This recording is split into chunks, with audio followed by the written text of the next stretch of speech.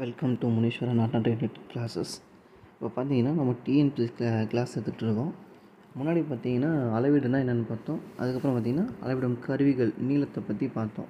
நீளத்தை எப்படியெல்லாம் அளக்கலாம்னு சொல்லி பார்த்தோம். இப்போ அடுத்து பார்க்க போகிறது நிறை. அதனுடைய கண்டினியூஷன் தான் நிறை.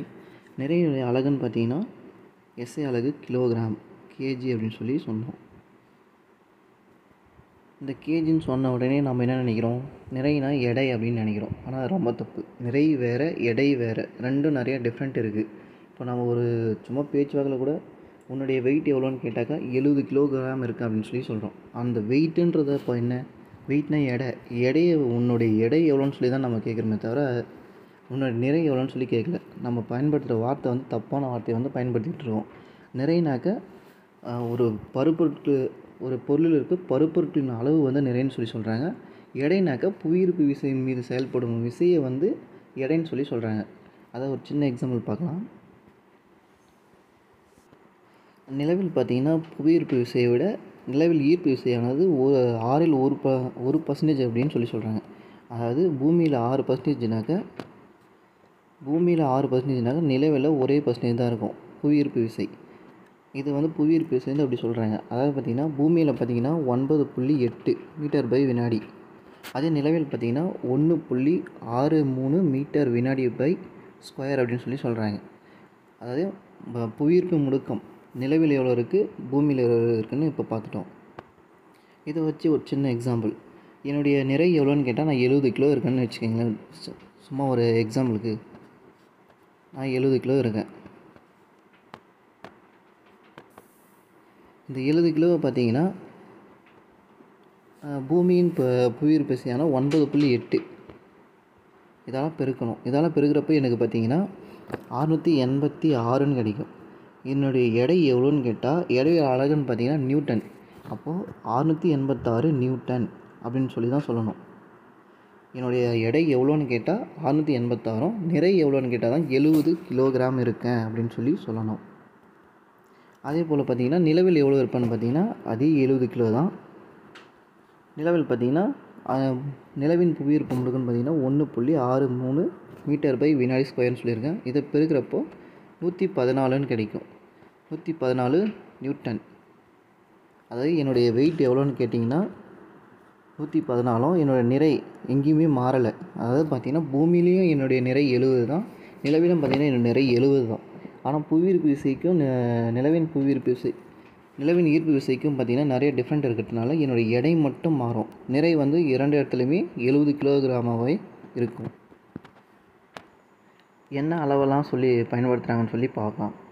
இப்போ பார்த்தீங்கன்னா ஒரு கிராம்னாக்க ஆயிரத்தில் ஒரு பங்கு அதாவது ஆயிரம் கிராம் சேர்ந்தது ஆயிரம் கிராம் சேர்ந்தது ஒரு கிலோகிராம் அப்படின்னு சொல்லி சொல்லுவோம். ஆயிரம் கிராம் சேர்ந்தது ஒரு கிலோகிராம் அப்போ ஒரு கிலோகிராம்னாக்க அதில் ஒரு பர்சன்டேஜ் தான் ஒரு கிராம் அப்படின்னு சொல்கிறாங்க அதாவது ஜீரோ புள்ளி ஜீரோ ஜீரோ ஒன்று கிலோகிராம் ஒரு கிராம்னாக்க ஜீரோ புள்ளி ஜீரோ ஜீரோ ஒன்று ஒரு கிலோகிராம் அப்படின்னு சொல்லி சொல்கிறாங்க ஒரு குவிண்டால்னாக்க நூறு கிலோ சேர்ந்தது. ஒரு குவிண்டால்னு சொல்கிறாங்க அதாவது ஒரு நூறு கிலோ சேர்ந்தது ஒரு குவிண்டால்னு சொல்லி சொல்கிறாங்க ஒரு டன்னுனாக்க ஆயிரம் கிலோ சேர்ந்தது ஒரு டன்னுன்னு சொல்கிறாங்க இதுக்கு இன்னொன்றும் இருக்குது இப்போ ஒரு குவிண்டால்னு எடுத்தாக்க நூறு கிலோன்னு சொல்லி சொல்லியிருக்குமா? அதை அப்போ பத்து குவிண்டால் சேர்ந்தது ஒரு டன் ஆகிடுமா பத்து இன்ட்டு நூறு. ஆயிரம் வருமா? அப்போது ஒரு குவிண்டால்னாக்க நூறு கிலோ எனவும் ஒரு டன்னுனாக்க ஆயிரம் கிலோ எனவும் எடுத்துக்கலாம். அடுத்து பார்த்திங்கன்னா நிறைய எப்படிலாம் அளக்குறாங்க என்னென்ன அழகில் சொல்லி பயன்படுத்துகிறாங்கன்னு சொல்லி பார்க்கலாம். எந்தெந்த முறையிலலாம் அளக்குறாங்க அப்படின்னு சொல்லியும் பார்க்கலாம். நிறை பார்த்தீங்கன்னாக்க இதில் ஃபஸ்ட்டு அணுநிறை அலகு. இந்த அணுநிறை அலகுனாக்கா இன்னும் இல்லைங்க? கண்ணுக்கு தெரியாத பருப்பொருட்களான நியூட்ரான் புரோட்டான் எலக்ட்ரான் போன்ற துகள்கள் நிறைய வந்து அளக்க இந்த அணுநிறை அலகுன்னு ஒன்று எடுத்துகிட்டு வராங்க. இந்த அணுநிறை அலகின் ம- மதிப்பு எவ்வளோன்னு பார்த்தீங்கன்னா C twelve C power twelve அதாவது அணுவின் நிறை பார்த்து பன்னிரெண்டில் ஒரு பங்கு இருக்கும் அப்படின்னு சொல்லி சொல்கிறாங்க இந்த அணுநிறை அலகுனாக்க எவ்வளோன்னு மதிப்பு கேட்டிங்கன்னா C twelve C power twelve அடுத்து பார்த்தீங்கன்னா என்ன கருவியெல்லாம் பயன்படுத்துகிறாங்கன்னு சொல்லி பார்க்கலாம். பொது தராசு. இது பொது தராசுன்றது நம்ம சின்ன வயசுலாம் பார்த்துருப்போம். ரெண்டு பக்கம் இடத்தட்டு இருக்கும். ஒரு பக்கம் பார்த்திங்கன்னா இடப்பட்டு இருக்கும். அதாவது படித்தர படித்தர க தராசுன்னு சொல்லி சொல்லுவாங்க. படித்தர கல் இருக்கும். அதில் ஒரு கிலோனாக்கி இவ்வளோ ரெண்டு கிலோனா இவ்வளோ அஞ்சு கிலோ இருக்குது அப்படின்னு சொல்லி ஒரு கல் இருக்கும். இன்னொரு பக்கம் நம்ம என்ன வாங்குகிறோமோ அந்த பொருள் எடையை வச்சு சமமாக இருக்கான்னு சொல்லி பார்ப்பாங்க. அந்த குறிமுள் வந்து மேலே இருக்கும். இந்த இடத்துல இருக்கும் குறிமுள் இந்த இடத்துல நேராக நிற்குதான்னு சொல்லி பார்ப்பாங்க. இது வந்து பொது தராசுன்னு சொல்கிறாங்க இதனுடைய அளவு எவ்வளோ இருக்குதுன்னு பார்த்தீங்கன்னா இந்த தராசை வச்சு எவ்வளோ அளவுடைய அளக்கலாம்னு பார்த்தீங்கன்னா அஞ்சு கிராம்லேருந்து அஞ்சு கிராம்லேருந்து அஞ்சு கிலோகிராம் வரைக்கும் அளக்க முடியும். அதாவது அஞ்சு கிராம்லேருந்து அஞ்சு கிலோகிராம் உள்ள எடையெல்லாம் பார்த்திங்கன்னா இதை வச்சு அளக்கலாம். சாரி நிறைய வச்சு இதில் அளக்கலாம். அடுத்து பார்த்திங்கன்னா இயற்பியல் தராசு இது பார்த்திங்கன்னா லெபார்ட்டரியில் மட்டும் யூஸ் பண்ண போகிறாங்க இந்த லெபார்ட்டரியில் யூஸ் பண்ணுறது பார்த்திங்கன்னா ரொம்ப துல்லியமானதாக இருக்கும். அதாவது பார்த்திங்கன்னா கெமிஸ்ட்ரி லேப்லேயும் ஃபிசிக்ஸ் லேப்லேயும் மட்டும் இதெல்லாம் யூஸ் பண்ணக்கூடியது. இது வந்து ரொம்ப துல்லியத்தன்மையாக இருக்கும். அதாவது எவ்வளோ இருக்குன்னு பார்த்தீங்கன்னா அளவிலே பார்த்தீங்கன்னா ரொம்ப சின்ன அளவீடான மில்லிகிராம் பத்து மில்லிகிராம்லேருந்து பத்து மில்லிகிராம்லேருந்து இரநூறு கிராம் வரைக்கும் மட்டுமே அளவிட முடியும். அதாவது பத்து மில்லிகிராம்லேருந்து இரநூறு கிராம் மட்டும் உள்ள பொருளை வந்து இந்த இயற்பியல் தராசில் வந்து அளக்க முடியும். அடுத்து பார்க்குறது எண்ணியல் தராசு. எண்ணியல் தராசுனாக்கா இப்போ நாம் யூஸ் பண்ணதான் டிஜிட்டல் மிஷின் இந்த டிஜிட்டல் மிஷின்லாம் பார்த்தீங்கன்னா ஒன்று ஒன்று ஒரு ஒரு மாதிரி இருக்கும். இந்த சின்ன மிஷின் பார்த்தீங்கன்னா நூறு கிலோ வரை இருக்கும். பெரிய மிஷின் டன்னு வரைக்கும் எடை போடக்கூடிய மிஷினும் இருக்குது இதெல்லாம் பார்த்தீங்கன்னா இப்போ டிஜிட்டல் எந்த படித்தர கல்லும் வைக்க தேவையில்ல எதுவும் இல்லை. சும்மா பொருளை மேலே வச்சா போதும் டிஜிட்டலில் காமிச்சிடும் எவ்வளோ பொருள் இருக்குன்னு சொல்லிட்டு. இதனுடைய துல்லியமான அளவீடு எவ்வளோன்னு சொல்லி கேட்டிங்கன்னா பத்து மில்லிகிராம் பத்து மில்லிகிராம்லேருந்து ஹையஸ்ட்டாக எவ்வளோ வேணால் போகும். பத்து மில்லிகிராம்லேருந்து எவ்வளோ வேணால் இதனோட நிறைய வந்து அளக்க முடியும். இவ்வளோ நேரம் பார்த்திங்கன்னா நிறைய அளவிடக்கூடிய கருவிகள் பார்த்தோம். இப்போ எடையை அளவிடக்கூடிய கருவி. எடையை அளவிடக்கூடிய கருவின்னு பார்த்திங்கன்னா இந்த சுருள்வில் தராசு ஒன்று மட்டும்தான் எடையை வச்சு கணக்கிட முடியும். அதாவது பார்த்திங்கன்னா இது வந்து ஊக்ஸ் விதிப்படி பயன்படுது. அதாவது சுருள்விலில் கொடுக்கப்படும் விசையானது நிலையான புள்ளியிலிருந்து சுருள்வில் விரிவடையும் தொலைவிற்கு நேர்த்தகவில் அமையும் அப்படின்ற ஊக்ஸ் விதிப்படி பயன்படுது. மேலே ஒரு வளையம் இருக்கும். கீழே ஒரு கொக்கி மாதிரி இருக்கும். மேலே கைப்பிடி பிடிச்சிருப்பாங்க. கீழே பார்த்தீங்கன்னா இந்த கொக்கியில் இந்த கொக்கியில் என்ன பொருள் அதாவது இப்போது பழக்கடைகளெல்லாம் பார்த்தீங்கன்னா சின்ன சின்ன தள்ளுவண்டி கடைகள்லாம் பார்த்தீங்கன்னா இப்போ இந்த மாதிரி இது தான் போட ஆரம்பிச்சிட்டாங்க. இதில் பார்த்தீங்கன்னா வெயிட்டு இந்த தேவையான பொருளை மாட்டிடுவாங்க. அப்போ பார்த்தீங்கன்னா பொருளுக்கேற்ப பார்த்தீங்கன்னா எடைக்கேற்ப பொருளின் எடைக்கேற்ப பார்த்தீங்கன்னா சுருள் வந்து விரிவடையும். விரிவடைகிறப்ப பார்த்தீங்கன்னா அளவுகளில் வந்து அளவீட்டு குறிமுள் அதாவது இதுக்கு இருக்குது பார்த்தீங்கன்னா இந்த அளவீட்டில் வந்து முள் நிற்கும் முள் நிற்கிறப்போ அதனுடைய எடை எவ்வளோன்னு சொல்லி கணக்கிட முடியும். அதாவது எடை கணக்கு கணக்கிட பயன்படுது சுருவில் தராசு மட்டும்தான் பயன்படுது. அடுத்து நிறைக்கும் எடைக்கும் என்ன டிஃப்ரெண்ட் இருக்குன்னு சொல்லி பார்த்துடலாம். நிறை பார்த்து அடிப்படை அலகுன்னு சொல்லி சொல்லியிருக்கோம். அடிப்படை அலகுகள். எடை பார்த்திங்கன்னா வலி அலகுகள். அதை சார்ந்து வருவது வந்து வலி அளவுகள் நிறையும் பார்த்தீங்கன்னா எண் மதிப்பு மட்டும் கொண்ட ஸ்கேலார் அளவுன்னு சொல்லி சொல்கிறாங்க இந்த ஸ்கேலார் வெக்டர்னாக்க அடுத்த யூனிட்டில் நம்ம வந்து தெளிவாக பார்ப்போம். எடை பார்த்திங்கன்னா எண் மதிப்பு மற்றும் திசை பண்பு கொண்டது அப்படின்னு சொல்லி சொல்கிறாங்க நிறைக்கு பார்த்திங்கன்னா உள்ள பருப்பொருட்கள் அளவு மட்டும் நிறைன்னு சொல்கிறாங்க அதாவது பொருளில் உள்ள பருப்பொருட்களின் அளவு வந்து நிறைன்னு சொல்லி சொல்கிறாங்க எடைன்னு பார்த்தீங்கன்னா பருப்பொருட்களின் மீது செயல்படும் புவியீர்ப்பு விசையை வந்து எடைன்னு சொல்லி சொல்கிறாங்க நிறை வந்து இடத்திற்கு இடம் மாறாது. இந்த எடை பார்த்தீங்கன்னா இடத்திற்கு இடம் மாறுபடும். அதாவது ஒரு எக்ஸாம்பிள் பார்த்தோம். நிலவிலும் பூமியிலே எடை எவ்வளோன்னு சொல்லி பார்த்தோம். நிறை எவ்வளோன்னு சொல்லி பார்த்தோம். நிறை என்னுடைய நிறை பார்த்திங்கன்னா எழுபது கிலோகிராம் ரெண்டு இடத்துலையும் சேமாக தான் இருந்துச்சு. ஆனால் எடை பார்த்திங்கன்னா அறுநூற்றி எண்பத்தாறாகவும் ஐம்பத்தாறு நியூட்டனாகவும் நூற்றி பதினாலு நியூட்டனாகவும் இருந்துச்சு. அதாவது பூமியில் அறுநூற்றி எண்பத்தாறாகவும் நிலவில் பார்த்திங்கன்னா நூற்றி பதினாலு நியூட்டனாக தான் இருந்துச்சு. என்னுடைய எடையும் நிறையும் ஒரே இடத்துல மாறுபாடு இருந்தது. அதுக்கப்புறம் பார்த்திங்கன்னா நிறை பார்த்திங்கன்னா இயற்பியல் தராசு எண்ணியல் தராசு பொது தராசு இதெல்லாம் வச்சு பார்த்தோம். அதை வச்சு கணக்கிட முடியும். எடையை பார்த்திங்கன்னா சுருவில் தராசு கொண்டு அளவீடு செய்யக்கூடியது. இந்த சுருவில் தராசு இப்போ தான் பார்த்தோம். நிறையினுடைய எஸ்ஐ அழகுன்னு கேட்டிங்கன்னா கிலோகிராம் கேஜி அப்படின்னு சொல்லி சொன்னோம். எடைக்கு பார்த்திங்கன்னா அழகு நியூட்டன். எடையுடைய அலகு பார்த்திங்கன்னா நியூட்டன் ஸ்மால் லெட்டர் என்னன்னு சொல்லி சொல்லணும்.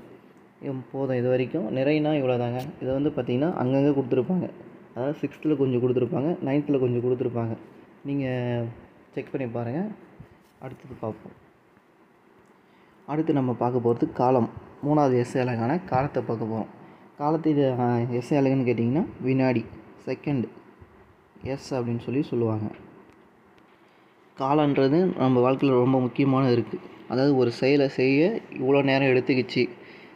அதுபோல் நம்ம இதய துடிப்பு கூட இத்தனை செகண்டுக்கு இத்தனை நிமிஷத்துக்கு இத்தனை முறை துடிக்குது. அதாவது ஒரு நிமிஷத்துக்கு பார்த்திங்கன்னா எழுபத்தி ரெண்டு டு எண்பது வரைக்கும் துடிக்கணும்.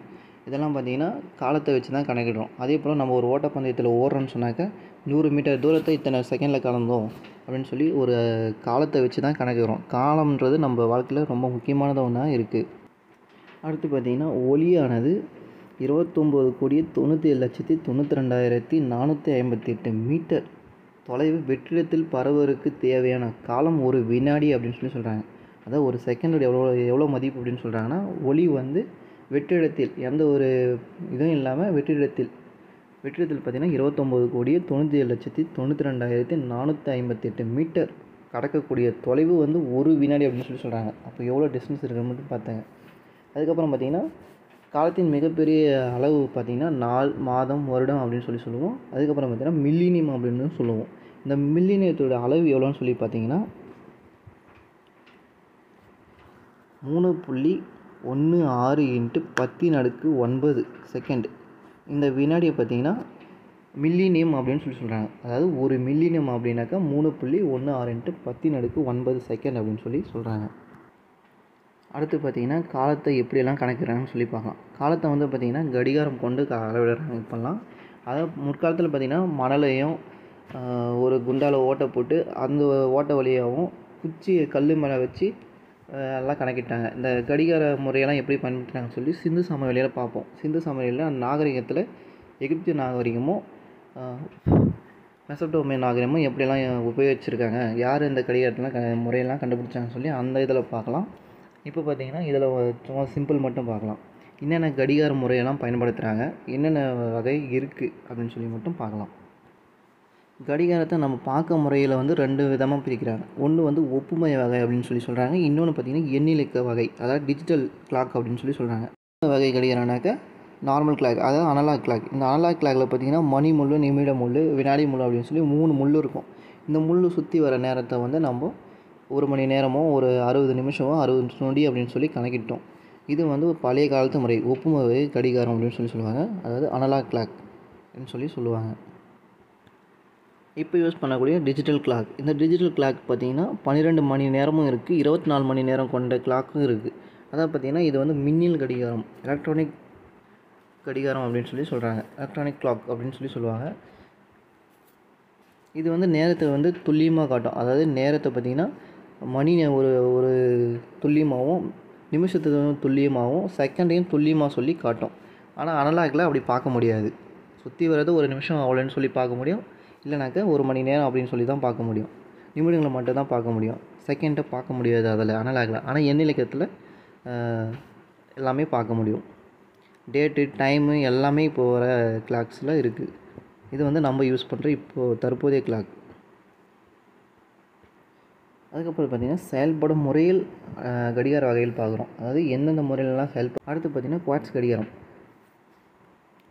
அடுத்து பார்த்திங்கன்னா செயல்படும் முறையில் என்னென்ன கடிகாரம் இருக்குது அப்படின்னு சொல்லி பார்க்கலாம். ஃபஸ்ட்டு பார்க்க போது பார்த்திங்கன்னா குவாட்ஸ் கடிகாரம். குவாட்ஸ் கடிகாரம்னாக்க படிகத்தால் கட்டுப்படுத்தப்படும் மின்னணு அலைவுகள். அதாவது ஒரு முள் சின்ன முள் அதாவது நிமிட முள் வினாடி முள் வந்து நவரத்துக்கு தேவைப்படும் அந்த அதிர்வை வந்து குவாட்ஸ் கடிகாரம் அப்படின்னு சொல்லி சொல்கிறாங்க அதாவது துல்லிய துல்லியமாக நகர்கிறது அப்படின்னு சொல்லி சொல்கிறாங்க இது பார்த்திங்கன்னா ஒரு துல்லியத்தன்மை எவ்வளோன்னு பார்த்தீங்கன்னா ஒரு வினாடிக்கு பத்தின் அடுக்கு ஒன்பது. வினாடிக்கு ஒரு வினாடி அப்படின்ற அளவில் வந்து இருக்கும் அப்படின்னு சொல்லி சொல்கிறாங்க அதாவது பத்தின் அடுக்கு ஒன்பது வினாடிக்கு ஒரு வினாடி அள அளவில் வந்து இருக்கும். குவாட்ஸ் கடிகாரம் அப்படின்னு சொல்லி சொல்லுவாங்க. இதெல்லாம் பார்த்திங்கன்னா இப்போது ஒரு சில வீட்டிலலாம் இருக்கும். இந்த இடத்துல பார்த்திங்கன்னா குவாட்ஸ் கடிகாரம் அப்படின்னு சொல்லி இருப்பாங்க. இதெல்லாம் நம்ம ஃபஸ்ட்டு யூஸ் பண்ண கிளாக்ஸ் இப்போ இருக்குது எல்லார் வீட்லேயும் இருக்குது எங்கள் வீட்லேயும் இருக்குது அடுத்து பார்த்திங்கன்னா அணு கடிகாரம் இந்த அணு கடிகாரம் பார்த்திங்கன்னா அணுவில் ஏற்படும் அதிர்வுகளை கொண்டு அளவிடக்கூடியது தான் இந்த அணு கடிகாரம்னு சொல்லி சொல்கிறாங்க இதனால் துல்லித்தன்மை பார்த்திங்கன்னா பத்தின் அடுக்கு இருபது பதிமூணு. பத்தின் அடுக்கு பதிமூணு செகண்டுக்கு ஒரு செகண்ட் அப்படின்ற அளவில் வந்து இருக்குன்னு சொல்கிறாங்க இது பார்த்திங்கன்னா ஜிபிஎஸ் பூமியில் இடிப்பிடத்தை கட்டுப்படுத்தும் ஜிபிஎஸ் செயற்கைக்கோள் வழிநடத்தக்கூடிய இடத்தெல்லாம் பார்த்திங்கன்னா அளவிடத்துக்கு இப்போ இந்த அணுகடிகாரம் வந்து பயன்படுது அப்படின்னு சொல்லி சொல்கிறாங்க இது வரைக்கும் போதுங்க. இந்த ரெண்டு டாபிக் பார்த்தது போதும். மீதி அடுத்த டாப்பிக்கில் பார்க்கலாம். முடிஞ்ச அளவுக்கு படிங்க. படிக்க ஸ்டார்ட் பண்ணிவிடுங்க நோட்டிஃபிகேஷன் வந்து படிக்கிறதை விட முன்னாடியே படிங்க. எந்த எக்ஸாம் வந்தாலும் எழுதுவோம். அதே மாதிரி புக்ஸை ரெடி பண்ண சொல்லியிருக்கேன். புக்ஸை சீக்கிரம் ரெடி பண்ணிடுங்க. ஸ்கூல் புக்ஸை வாங்கிட்டு படிக்க ஸ்டார்ட் பண்ணி